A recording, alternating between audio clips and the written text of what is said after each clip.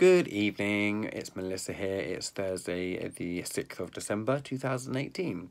So I've just spent the past sort of 10 minutes recording and realised I hadn't pressed the record button. So I'm going to try and make this run smoothly and go back over what I spoke about. Um, so, anyway, so I just want to talk to you from, um, it's been just over a week now since I did my last diary entry. And I'm going to try and talk you through it all in sync from what I just said. Um, so on the Monday after I did my last diary entry, I went into Chichester.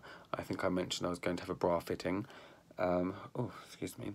Um, and I uh, yeah, so I drove into town on the Monday, my day off, and it was absolutely amazing walking through Chichester. I'm really sorry, but I have a haircut. Um. Anyway, um. Yes, I drove through, uh, walked through Chichester, and it was so amazing because where everyone's so busy, um, no one's really paying attention. Um, you know, everyone's got their own lives to deal with, and it's been yeah, it was amazing. So I really actually enjoyed walking through town and no one really caring. Um, I went for lunch with my friend Dawn. We went into Pret and um, yeah, it was nice. I mean, there were a few occasional looks, um, but the bra fitting um, at Smitten on North Street was absolutely amazing. Who I was introduced to by Dawn Gracie. Um, she's so lovely. She made me feel so at ease. So if there is anybody sort of in the local area of Chichester, um, on that or on the outskirts that is looking for any bra or um padding issues, um, go and see her because she put made me feel right at ease. And she has got a Facebook page. Um, so, um, so yes, I went got fitted. So I put these behind. So I'm actually wearing this right now.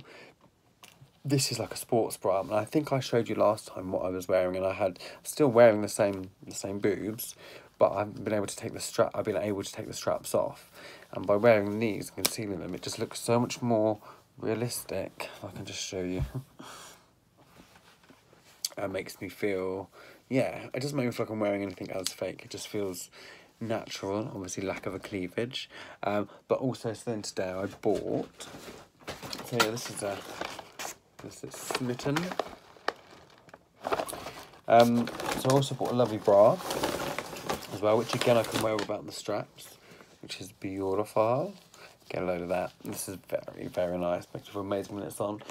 But um, what I have found regarding wearing my penis I found that actually she um, Rachel did actually get me in some um, um, support kind of like Spanx kind of um, shorts, but actually they um, didn't work for me. I tried them on today and um, while I was in the shop, and it just made me actually feel fat.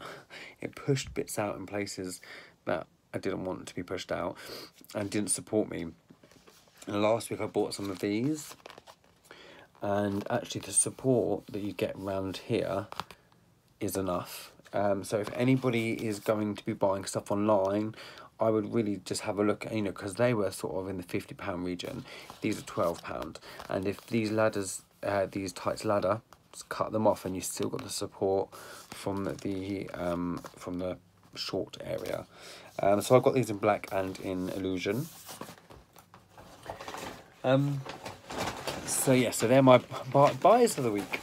Um, so yeah, so anyway, so after the Monday, I went and had my bras fitted and um, and I went into McDonald's. So McDonald's is, was has um, always been sort of part of my day to day life, and just going through the drive through. So what I managed to do um, was walk in, and I was planning on on taking away, so I wasn't staying in, but I went and ordered my food. Stood in queue, and there were like a group of four, four like school children, like lads, um, who were sort of pointing and laughing, but like I totally don't mind that. Um, I just sort of stood there, just like, yeah, I'm waiting for my food, thank you very much. And then uh, I left and ate my food in my car. I devoured it, but um, I it was really funny because I got into the car and do you know what? Like, there's still like these little emotional bits that um because these are things that I just do day to day, or things that I would, you know, be doing day to day. So the fact that like I was getting emotional that I went into a McDonald's store and felt okay about it. It's really weird. So everything's kind of still little milestones and still little moments that I'm overwhelmed at that I'm sort of accomplishing. Um, which sounds really ridiculous. It's like it's not like I'm learning to walk again or anything like that. But um, yeah, so that was amazing. That was a nice little tick for my box. Um, a McDonald's trip. Um, apart from that, really, um, I have had a little bit of a, wobble this week. I think where I've been on such a high for the past four weeks. Um, you know, now it's just kind of like I'm sort of just going back to just a normal, a normal mood, I guess.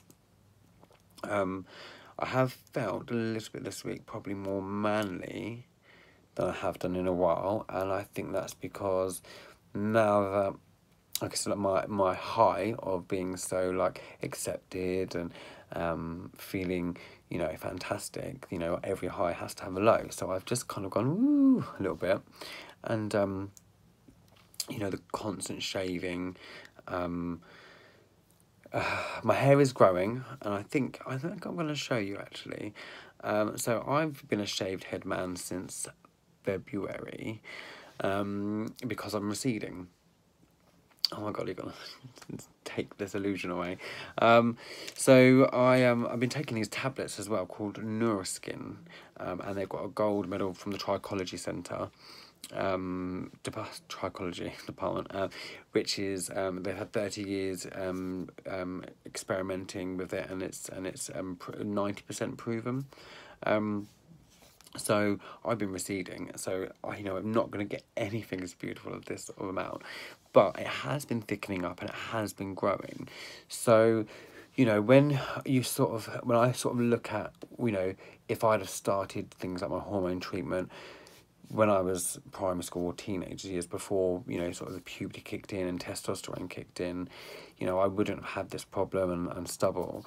But actually, I was also watching a program the other day, which was on Channel 4, Channel 5, um, about trans kids and, you know, people sort of changing their minds. And I'm actually really glad I got to where I am to do this, but also I wish that I could have I could have a bit of both so that I could stop the testosterone a lot sooner, but I've been of a bit of a clearer head with it. So anyway, so my hair is growing. Oh, I don't know if I want to do this. So yeah, so oh my gosh. So I mean it's not massively long, but okay. You can see sort of my issue that I'm having gonna have to um deal with. I'm to have to, luckily I'm a hairdresser, but I'm to have to have a fringe to cover here, you know, down to here, which is fine. But you can see, it still looks thin, it is thickening up massively, and I haven't had length on the sides in ages. Um, but also the thing is with having to wear a wig every day is that it's covering my hair up covering oxygen and air and it creates these horrible lines. Sometimes my wig caps really really dent into my head. Um, i'm just gonna put this back on now. Um, so sometimes yeah the wig caps really dent into my head. Um, which isn't great for my brain. And it's, uh, it's not good for my skin. And I started to get like sort of spots around the wig line um, so I'm really looking forward to it getting to sort of at least this long that I can kind of have a funky little pixie cut um, and just wear wigs on like sort of nights out. Um, but at the moment I still can't, I have to wear a wig. So, and also at the moment it's acting like a hat in the, in the winter weather. Um, so yeah, so it's been a good, it's been a kind of okay steady week. Um, I will definitely want to report back to you after the wedding. Um, because I'm going to look fabulous. Um, and also, before I go, I just would like to remind everybody about the Monday, the 21st of January at the Vestry on South Street, Strat, South Street, Chichester. Um, this is where we're having our Chichester LGBT community meeting. Um, and this isn't a piss up, this is for um, us to meet as a community, find out what we want from Chichester. Um, I'm hosting this with Dawn Gracie, um, and we're holding this at the vestry. So it's myself and Dawn's event. And uh, if you would like to get tickets, if you go to the Chichester LGBT community page on Facebook, you'll find ways to get tickets to go. It is free of charge, but um, if you go onto Eventbrite, you can um, just get yourself booked in.